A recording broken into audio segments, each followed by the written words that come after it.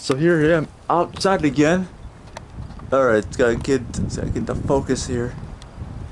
If you guys can see it. Up there it is, guys. There it is. There's a blood moon right there. Yep. There it is. It's cold, but it's worth it. It's worth it. What the? Oh crap! There we go. There it is.